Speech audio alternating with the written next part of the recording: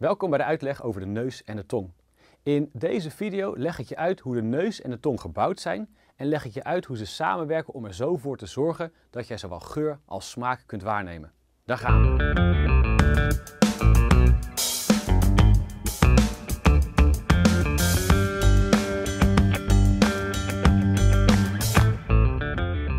In je neus zit het reukorgaan, met daarin geurzintuigcellen waarmee je geur kunt waarnemen. In je tong zit het smaakorgaan met smaakzintuigcellen, waarmee je smaak kunt waarnemen. Om goed te kunnen proeven werken het reukorgaan en het smaakorgaan met elkaar samen. Als je verkouden bent en door een verstopte neus niet goed kunt ruiken, merk je ook meteen dat je een stuk minder goed kunt proeven. Naast dat de zintuigcellen met elkaar samenwerken, zie je ook dat de bouw van de reukzintuigcellen en de smaakzintuigcellen erg op elkaar lijken. In je neusholte zitten de zintuigcellen waarmee je geur kunt waarnemen. Met behulp van kleine uitsteeksels vangen de zintuigcellen van je reukorgaan geurstoffen uit de ingeademde lucht op. Ze maken, als ze geurstofjes opvangen, in reactie hierop impulsen. En via de zenuwen worden de impulsen naar je hersenen gestuurd en neem je dus de geur waar.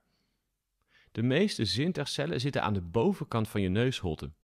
Om iets goed te kunnen ruiken haal je dus achter elkaar telkens kort en krachtig door je neus in. De lucht met daarin de geurstoffen komt zo aan de bovenkant van je neusholte, waardoor je het beter kunt ruiken. Op je tong zitten de zintuigcellen waarmee je smaakstoffen kunt waarnemen. Smaakzintuigcellen van je smaakorgaan hebben, net als reukzintuigcellen, ook uitsteeksels. Smaakstoffen uit je eten komen bij de uitsteeksels van de smaakzintuigcellen terecht. Die maken in reactie hierop impulsen. Ze sturen de impulsen via zenuwen naar je hersenen. En op dat moment proef je dus een bepaalde smaak. Een groepje smaakzintuigcellen samen, dat noem je een smaakknopje. En zoals je ziet zitten de smaakknopjes in een soort groefjes op je tong.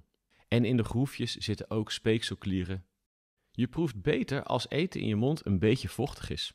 Geen wonder dus dat je moet watertanden als je bijvoorbeeld iets lekkers ruikt of ziet. Door het extra speeksel proef je het lekkere eten extra goed.